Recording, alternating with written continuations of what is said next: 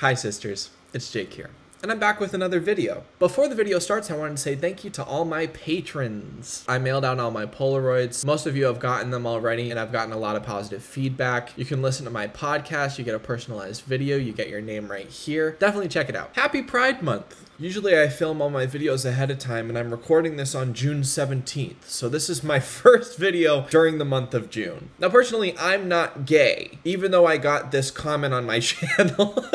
it's one of my favorite comments I've ever seen. Uh, it's also kind of like nice, where it's like, instead of being like, you're gay or are you gay, just, is this feller gay? And the answer is no. I've been with my lovely girlfriend for seven years. So today I'm going to do my part and look at corporate America's take on Pride Month. Now, this has been a thing that I've been noticing for years. Whether it's Pride Month or Black History Month, somehow large brands have figured out how to make the most disingenuous posts of all time, trying to pander to an audience that is very aware of what they're doing. Now, I'm going to start out with this video from Uber Eats called Eat with Pride, introducing the bottom friendly menu. Okay, let's see what they have to say. What are you eating this pride? Well, if you're a top, it seems like you can eat whatever you want. But if you're a bottom, you're expected to starve? Not this pride. Introducing the bottom friendly menu from Okay, Postmates. good, good. We teamed up with Dr. Evan Goldstein from Bespoke Surgical to bring you a menu of bottom friendly foods backed by science.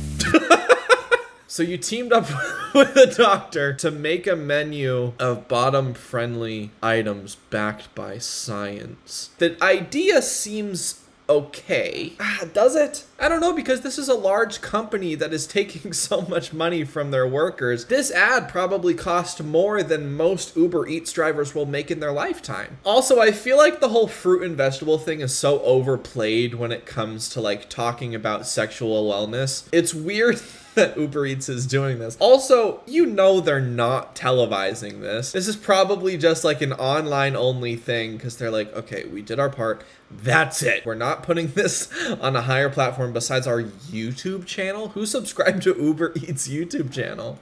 Insoluble fiber won't help you feel cute, so avoid things like whole grains, wheat bran, cauliflower, potatoes, legumes. Hold up, are you just fully diving into those beans? What?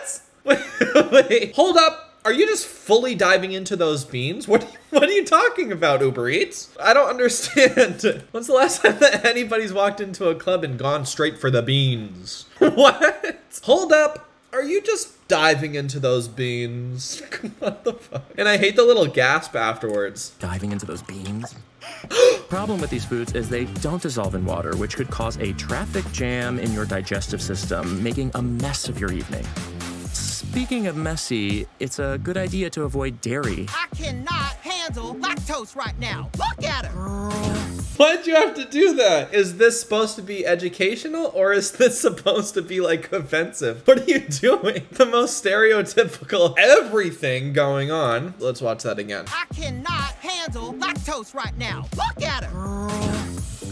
Girl, what are you doing? Why are we adding race to this? You can tell what color they're supposed to be. I, I feel like this is a little disconnected. I feel like the guy who made this like stop motion thing is like, okay, what do gay people like? It's beans. It's lactose. And uh, they love fiber. And it's like, I mean, what are you doing? If you're going to eat something insoluble, give your body about 24 hours to process all of it. Gross. Gross. Why are we doing this? Why do we have just a fucking peach right here? Soluble fibers and protein are the key to having some good, clean fun. These all digest easily and slowly while feeding your good gut bacteria, which makes sushi a great bottom friendly option. What?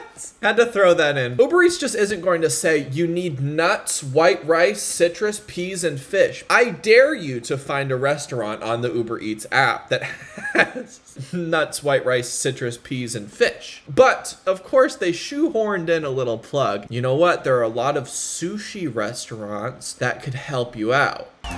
There's no right or wrong way to bottom, but if you're planning on wait, wait. what? Is there supposed to be a wrong way to bottom? What are you talking about? But if you're planning on getting peachy this pride, the bottom friendly menu on Postmates has the kinds of foods that could keep you feeling good. Are you organic? Mm-hmm. What does that mean? Am I stupid? Are you organic? What? I also like this thing at the bottom that says, not intended as a substitute for medical advice. Always consult your physician before undertaking a new health regimen. Uber Eats. Uber Eats, thank you for that. You know what? Thank you for that warning. That makes sense. Hold the phone. You think that's the end of the commercial, right? Are you organic? A donation was made to the Okra Project, a black woman led collective that addresses food insecurity, mental health, and financial barriers faced by the trans community. Okay, well, that's good that they're donating to the Okra Project. Are you not going to mention how much it was? I could donate to them. I could give them a dollar. Uber is a multi billion dollar company, and they're like, we did donate to the Okra Project. Also, eat some okra. What? Wow. Well, that was fascinating. So overall, Uber Eats is really making a difference. I also want to go through what some of the other large companies are doing for Pride. So we've got Shein. okay, so we've got Book, tank top shorts, kids number and rainbow print floor. Huh. Hmm. I they really did do the bare minimum. Oh, I understand now. None of this is pride related. They just searched rainbow. okay, good. Anything that's rainbow is in here. Kids rainbow print wall sticker. Always love chase your dream, believe yourself. You are the best, never stop learning. Okay. Oh, a dog tag. Good. Just something that says I love you. I like these graphic tees. Let me see. Graphic tees? Shirt. That is not really a shirt. I just think it's ironic to have like Shein do a large campaign for all of their rainbow stuff, and you know that they're using like children to make their clothing. Like, sure, it's good that you're bringing awareness to Pride Month, but also like bring awareness to what you're doing in your factories as well, because what you're doing for Pride Month is literally nothing. Then we've got this tweet from Elon Musk Tesla scores 100 out of 100 for seventh year in a row for LGBTQ equality. Hmm. 100 out of 100. I'm curious to know if he scored this way because he doesn't have anybody in his company who identifies as that. Let's see. Workplace Quality Index. I swear, like a couple days before, Elon tweeted like some really homophobic stuff. Let me try to find it. Oh, well, there we go. Because under this tweet, he responded with, We're trying to accelerate sustainable energy. So what matters is how much someone can contribute to that goal. Okay. Personal choices are your own and are respected. Personal choices? It's a choice to be gay. It's a choice. oh my God. That's awesome. Oh, okay. So Burger King Austria is here to make the Pride Whopper. All right. What do you think the Pride Whopper is? Do you think they're going to have some food coloring and make it rainbow? No, no, no. They're going to just take the tops of buns and the bottoms of buns and switch them around. Thank you, Burger King, for putting a positive light on Pride Month and not just fucking with your burgers. I feel like this is the least you could do. Time to be proud. Here's the top and bottoms of buns. Also, I think it's really funny because whoever gets the one with the top buns is pretty lucky, right? You get the sesame seeds, you get all that. Whoever gets the one with the bottom buns, like nobody likes the bottom buns. So like that really sucks. But this is Burger King's way of proving it's okay to like the same as you, right? So uh thank you, Burger King Austria. Also, only in Austria, if you're going to do this, do this throughout the whole fucking chain. Now, this one is one of my favorites. US Marines. Now, I am surprised that they even posted anything like this, but the US Marines posted. Throughout June, the US Marine Corps takes pride in recognizing and honoring the contributions of our LGBTQ service members. We remain committed to fostering an environment free from discrimination and defend the values of treating all equally with dignity and respect. Hashtag Pride Month. Hashtag USMC. Now, I don't know what this means. Is this all they did, right? They just made a graphic of a helmet that says proud to serve, probably written over on like, you know, like on your iPhone where you can draw with your finger over a photo? That's absolutely what this is. And then took bullet casings and made them rainbow. So while you're killing innocent people, at least you can show your pride. You know what I mean? It's that's so fucking crazy to me. I also found this tweet of Walmart's Pride shirts, and these are pretty good. This one is just a dinosaur with the Pride flag, and it's called T-Stars Men's LGBT Clothing T-Rex RAR Gay Lesbian Rights Support Pride Parade. Okay. T-Rex RAR. Good. I'm glad that they know how to market to their, their audience. What? I may be straight, but I don't hate. You know what? I'll get it. Maybe that's what I need. Maybe I should have worn that for this video. I may be straight, but I don't hate. Oh, okay. We've got the American flag, but with rainbow. I'm curious to know how many people have purchased this. Usually it's like blue, and then maybe it says like lives matter. But this is really interesting to me because I don't picture anybody wearing this. Okay, we're working on some puns. Uh, so this is again from T-Stars, the brand that we know and love. And it says is more. Huh. Okay, good, good, good, good. So we're supportive of lesbian rights.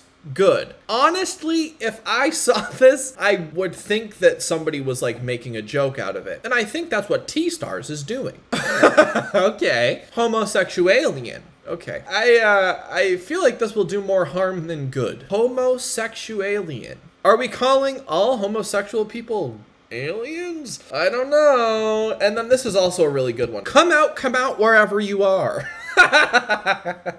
come out wherever you are. Now! Come out now!